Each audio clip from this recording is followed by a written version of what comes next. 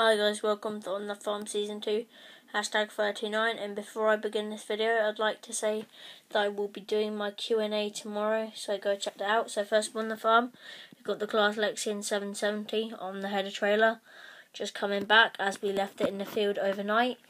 It's been escorted by the gator, sheep in the field. Over here we're still doing some drainage with the JCB 1CX. The Ford with the Fergie trailer just parked up. Over here we got the Claas Arion 640 with the Marston trailer carting some muck to some of our arable fields. Over here we got the John Deere 6210R with the Simba Solo just coming back from our arable field behind this field. So I'll go over to the farm. Over here in the farm we got the John Deere 7430 with the Stewart Silas trailer. We're using it to cart muck at the moment and then we'll clean it out before we start maize. Being loaded by the JCB TM.